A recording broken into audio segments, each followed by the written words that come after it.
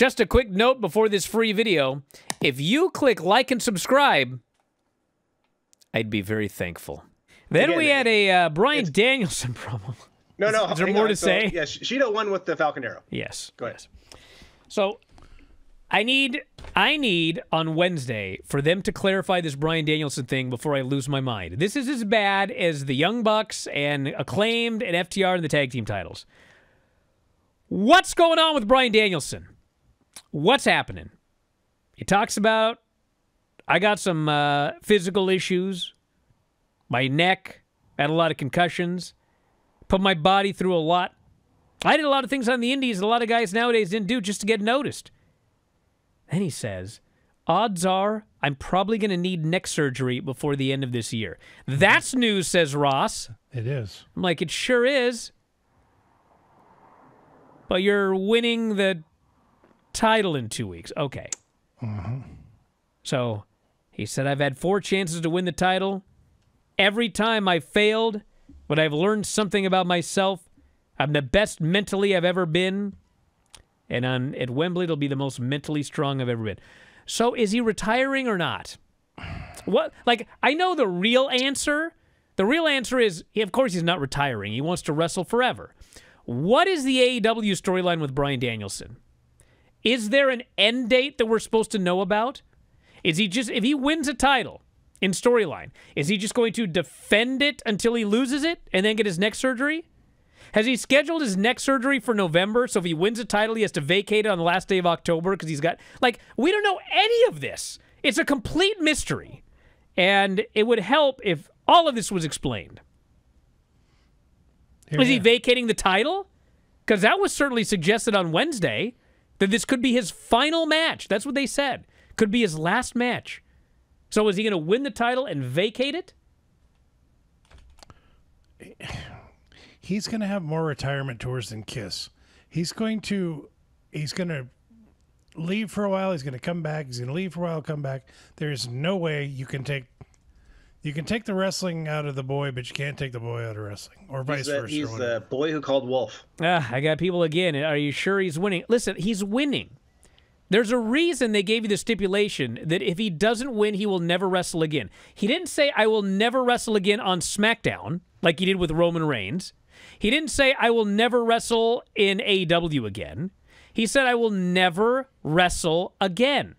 And Bryan Danielson is not going to go out there and lie about that. He's winning the title in Wembley. The question is not Wembley. The question is what happens after Wembley. Is he just going to go drop it to Darby at uh, Arthur Ashe? Is he going on a long run?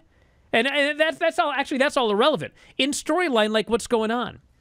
Why is the guy fighting for the title if he needs neck surgery? Like within before the year's over. That's a great question. Why is the guy getting a title shot? Like Tony said, okay, well, you're going to retire at Wembley, but here, have a title shot on your very last night. We just did that with Sting. Like, Mm-hmm. could some of this be explained? Like, what's going on here? Maybe the neck surgery thing is a lie to make you think. Well, I'm sure his neck, he probably won't need neck surgery this year. I'm sure that's part of the storyline. But Yeah, but still, what I'm saying that's is, the like- story they're telling. I know, but they're saying it because they want you to think that if he's getting neck surgery, they're not going to give him the title. Well, yes, they could be.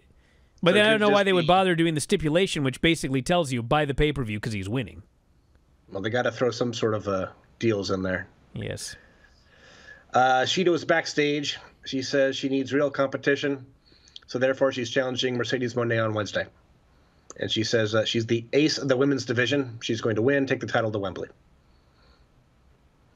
Skeptical. Unlikely. All right, main events. They liked it. Uh, Malachi Black, Buddy Matthews, and Brody King versus Juice Robinson, Colton Gunn, and Austin Gunn, with Christian as a special referee in his glorious turtleneck.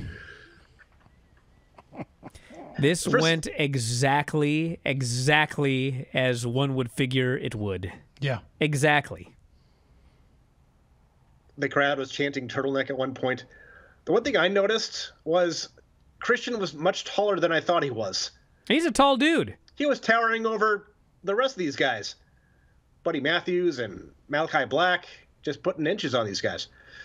But yes, um, I enjoyed everything except for that part where Juice pretended to pee on Buddy Matthews. That was dumb. Everything else was great, including the finish.